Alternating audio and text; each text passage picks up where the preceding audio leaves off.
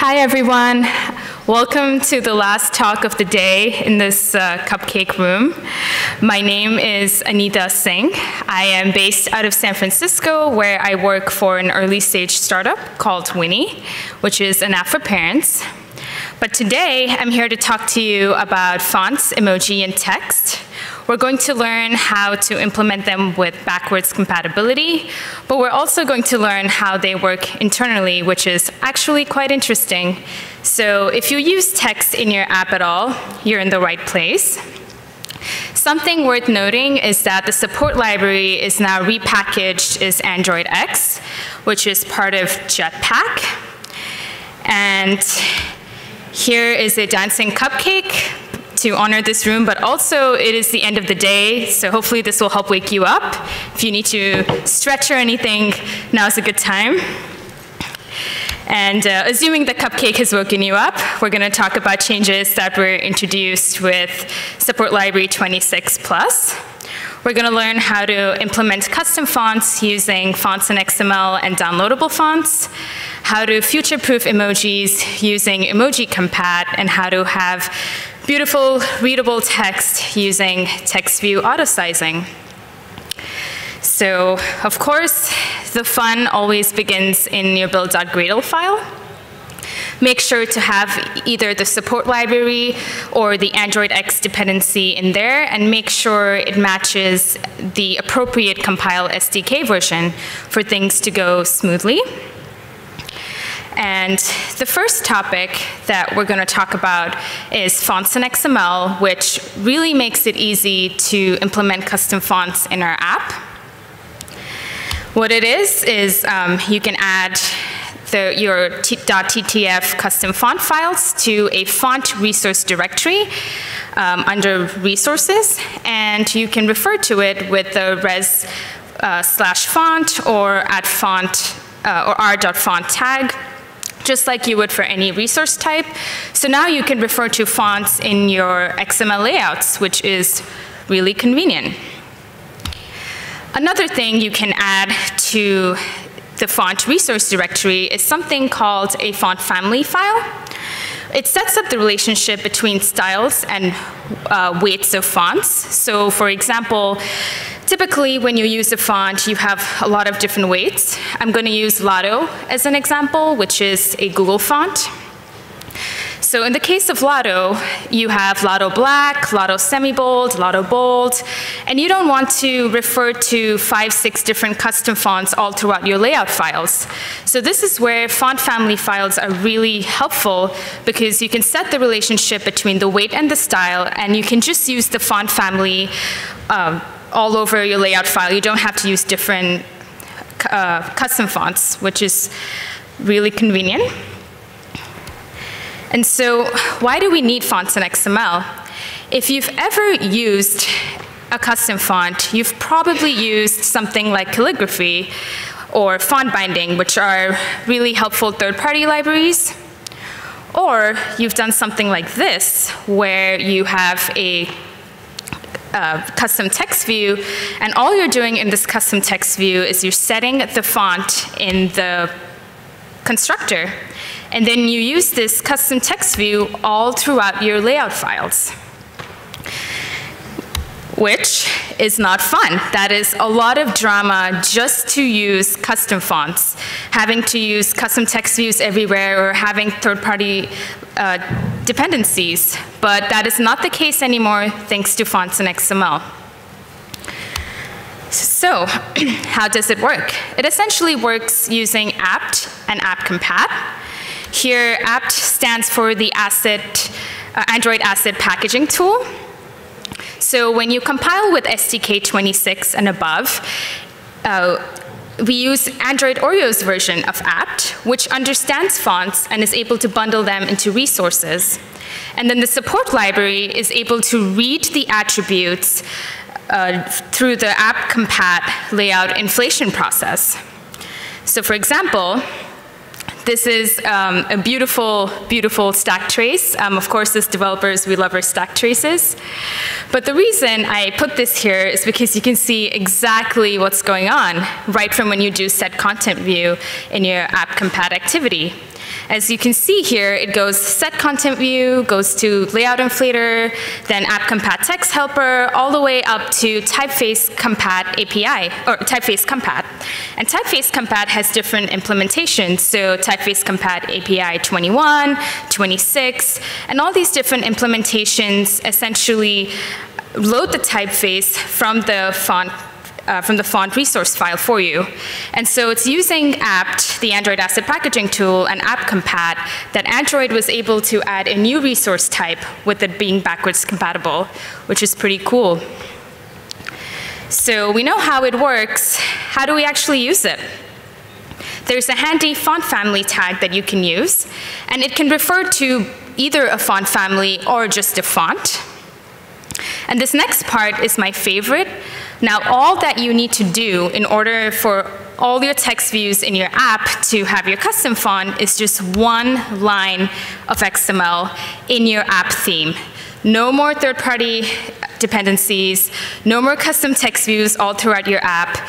So as you can see, this is a pretty big improvement uh, when it comes to custom fonts uh, in terms of support straight from Android. And there's also an API you can use, resources compat.getFont, to load it programmatically. Great, so it's not Android development without its gotchas. Make sure to use both the Android and the app namespace in your font family file for it to work in all versions of Android, so basically pre-O and after O. Um, and you have to use app compat components like app compat activity, etc., because it works using the app compat uh, layout inflation process. And some useful reading. Um, this next topic, downloadable fonts, also helps make uh, implementing custom fonts really easy for us. Um, downloadable fonts essentially helps apps share fonts with each other. So how it works is different apps can request for fonts from a central font provider application using the fonts contract compat API. And what the font provider does is it looks into the cache to see if there's the font, if it is, great. If it's not, then it essentially down downloads it from the internet, caches it, and now the different uh, apps can use it. The currently publicly available font provider is the Google font provider, which lives in Google Play services and currently gives you access to around 800 plus uh, Google fonts. Um, and so that's what I'm going to be using going forward in the examples. So why do we need downloadable fonts? Uh, it helps us reduce our APK size because you don't have to bundle fonts in your app anymore, and sometimes that can take up to 7 MB. And a reduced APK or app bundles can have a huge impact on your app installs. And because different apps are sharing fonts, it results in less usage of precious memory, disk space, and cellular data because can you imagine how many Roboto font files are on your phone right now? Roboto, Lato, or any popular font, you have multiple copies of those font files in your phone right now. Um, and downloadable fonts can help eliminate those duplicates. So if your users understood how much data and space you were saving them, they would be happy like that emoji with sunshine and rainbows. And that should be the goal as developers, to make our users feel that way. So downloadable fonts is um, a good option. So how do we get it set up? Uh, one way to do it is programmatically using the support library. Uh, you can set up a font request where you pass in where you're going to get the font from, which in this case refers to Google Play Services. You pass in the name of the font, which in this case is Lato, and you pass in the certificates, which avoids um, getting fonts from unknown sources, which is great. And then you have the callback, the font uh, request callback with the success and failure callbacks. And then in the success callback, you want to set the typeface on the text view. And then you definitely do, do not want the download to happen on the main thread. And so you need to set up a handler. And then you can put all of this together by calling fonts contract compat.request font, where you pass in the font request, the callback, and the handler. And when the font is retrieved either from the cache or from the internet, you will get the success or failure callback, and you can uh, deal with each that way. So what you just saw is cool, but you probably don't want to do that in every activity or fragment or custom view group. And that's why I think using Android Studio with fonts and XML um, is a better way to do it. Open up uh, the graphical editor, find the font family attribute, scroll down to more fonts, and then select the Google font that you're looking for. Again, you will only see Google, mostly only Google fonts, and select Create Downloadable Font. If you do these steps, three files get downloaded automatically by, via Android Studio. The first being the font family file.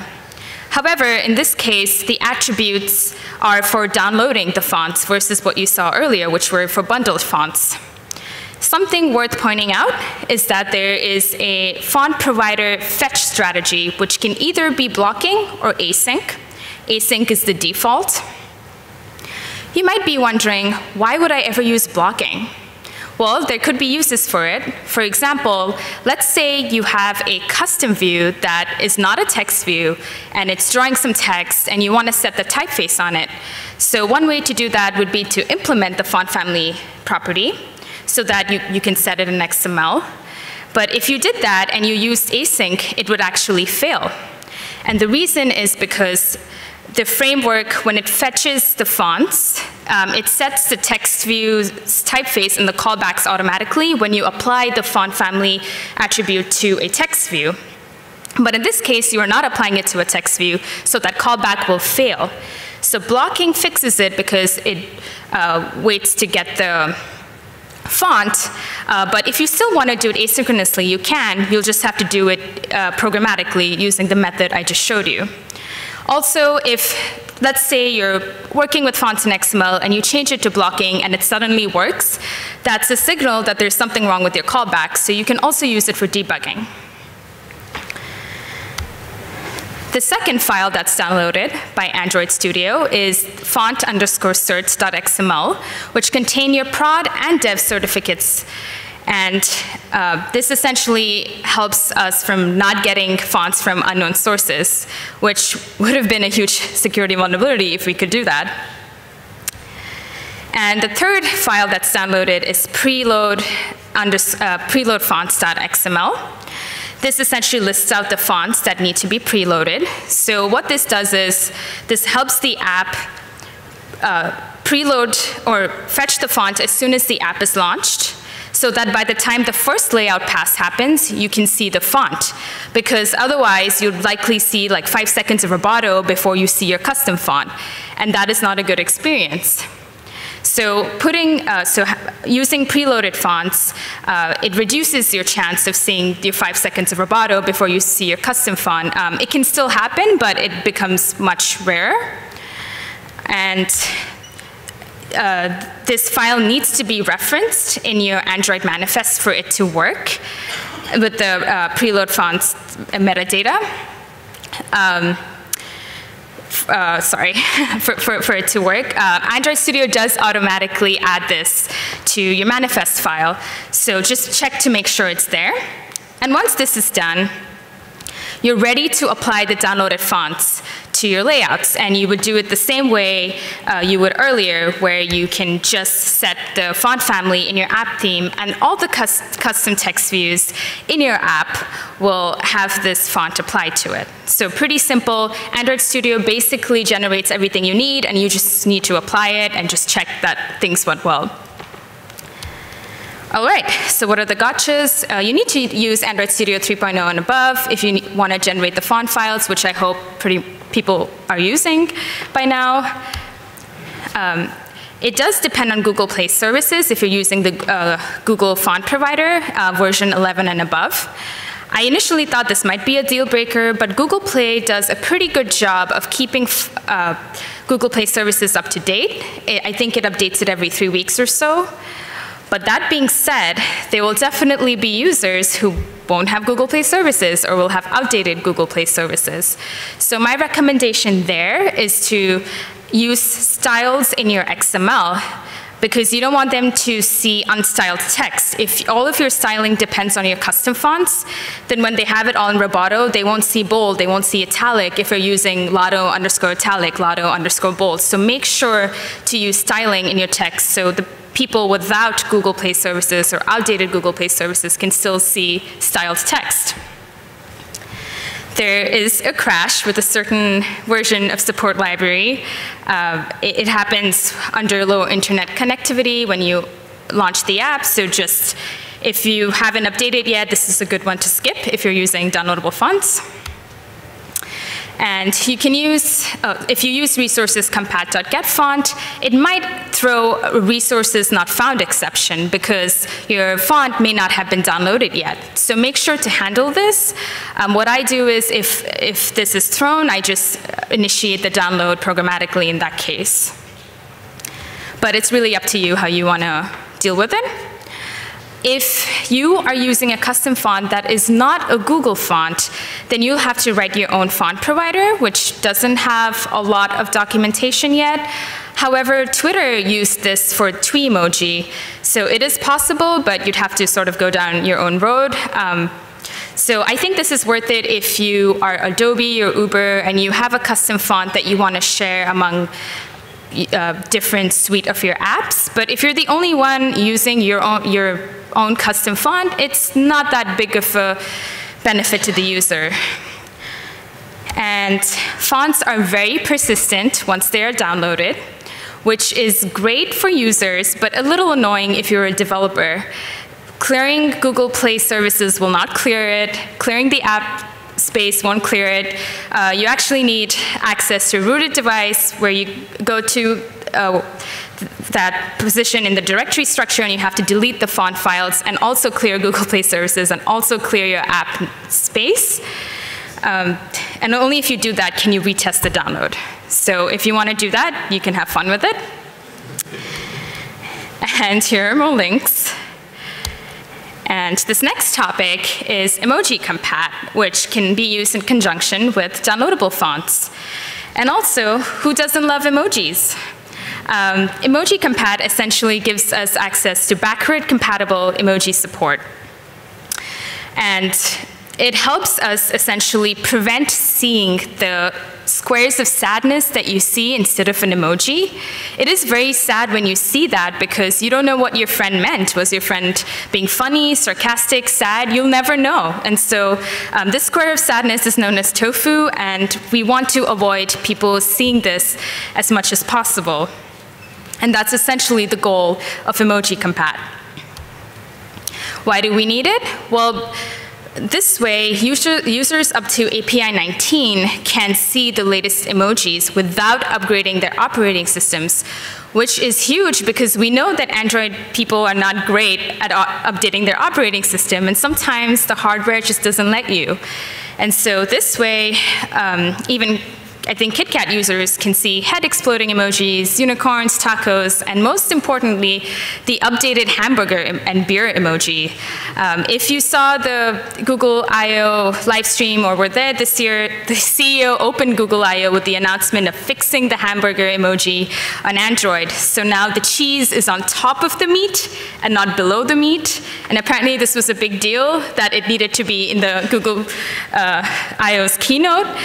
Um, and so it's because of emoji compat that users up to API 19 can see this new hamburger emoji.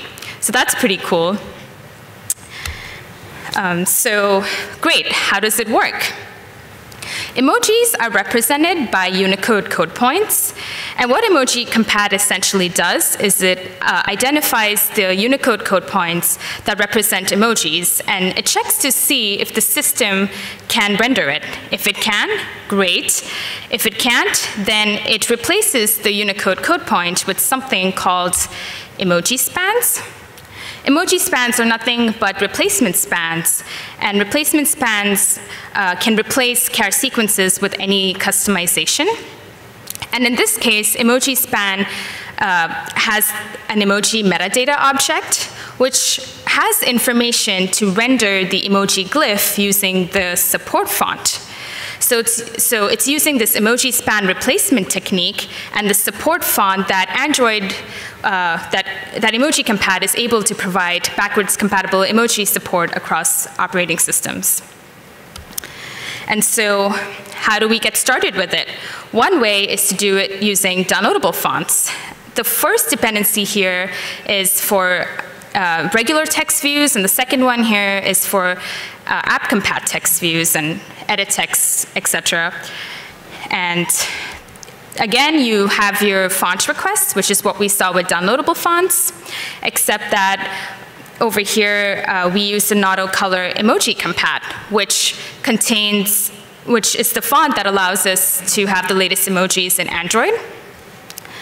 And then you have the font request emoji compat config, which has the on initialize and on failed callbacks. And then you call, oh, sorry, and then that's highlighted. and then you call emoji compat.init with the config. And you want this to happen as soon as possible in your app lifecycle. So I put this in the uh, applications on create, and that seems to have been working fine. So just as we saw preloading for downloadable fonts, there's also a preloading for emoji compat. There's this handy font provider request tag that you can use that Google Play services will read either at install time or at update and will initiate the font download then. And this is great because by the time you launch your app, you will likely have the emojis ready instead of seeing five seconds of tofus and then suddenly seeing your emojis. So this helps, again, it's not guaranteed, but it really re reduces the likelihood of that happening. Another way of using Emoji Compat is through bundled fonts. Uh, you add in your dependency, and then you use bundled emoji compat config. And then you have these optional properties that you could also use with downloadable fonts. But you can set um, this set replace all to true, which essentially tells Emoji Compat to replace every emoji that it finds with the one in the support font. So this way, you can have consistent looking emojis across all devices. So if you don't want your users to see ugly Samsung emojis, they don't have to. They can have consistent emojis this way, which is pretty cool. One thing though, it does add around 7 MB to your APK, and you have to update your app at least once a year to get the latest emoji, but it does not depend on Google Play services. So Depending on your user demographic, um, do what's best for your app. Another way, um, so now we have it configured, so now we can start using Emoji Compat. Um, one way is to use the out-of-box components like Emoji Text View, Emoji App Compat Edit Text, Emoji Button. Um, so each of these have their App Compat variations, and they will render emojis out of the box. But what if you have other widgets, like let's say a text input edit text that you want uh, it to render an emoji? Then you can use something called the emoji compat.get.process, or um, if you have a custom text view or custom edit text, you have these helper classes called emoji text view helper and emoji edit text helper. I'm going to go over the first one right now, and I've included code samples for the second one in the slides. So let's say you, wanna, you want your text input edit text to render emojis, you listen on the callback from when emoji compat is initialized. And in the callback, you call emoji compat.get.process with, and you pass in the string. So what this does is it goes through the whole emoji span replacement technique, and now uh, text input edit texts are able to, this, at least this end text input edit text is able to render emojis. This only works for uh, widgets that can render spanned instances. So for example, if you were going to do it for the hint of an edit text, it would not work. Oh, and definitely unregister your callbacks. All right, so what are gotchas? Um, it is API 19 plus. You can still use it if you're supporting lower operating systems. Um, it just won't render the latest emojis. The process only works on widgets that can render spanned instances, so others may not be able to render the emojis. Make sure to handle the failure cases. So um, it's easy to set the text in on initialized and not do anything in on failed, but that way like the user won't see text at all. Seeing tofus is better than not seeing text, so make sure uh, to handle the failure cases uh, wherever you're using emoji compat in the code. And if you're using it in conjunction with downloadable fonts, all of the gotchas apply, like being dependent on Google Play services. And more reading. All right, this last topic um, was also introduced with support library 26 and above. Um, it's text view auto sizing. Uh, it essentially allows text views to expand or contract dynamically based on its bounds. So as you can see here, it's expanding and contracting as um, it gets bigger and smaller. And um, it's based on constraints. Why do we need this? Material design has since forever recommended using dynamic text types over truncated text or compromising on text size. So as you can see here, the shorter the text, the bigger it is, the more readable it is, and the uh, longer the text, it sort of auto sizes to fit in. So this way you don't have to truncate text, you don't have to sort of uh, pick like a middle ground text that probably works for everyone. Um, this can just auto size and do the best it can, which is great. So how does it work? Whenever text is set or changed, or whenever you set auto sizing using text view compat, there is an auto size uh, method that lives in the app compat text view classes, which essentially runs binary search calculations. So it uses binary search to figure out uh, the largest text size that can fit in the bounds. And so it uses this a lot to figure out, to set the text size when it's auto-sizing. How do we use it? There is a handy auto-size text type uh, tag that you can use, or attribute, and you can either set it as uniform or none, none being the default. And once you set that, you can optionally specify the min size, the max size, and the step granularity. And then you can also set preset sizes. So you can give it a list of sizes and it will pick the largest that it can fit in the bounds.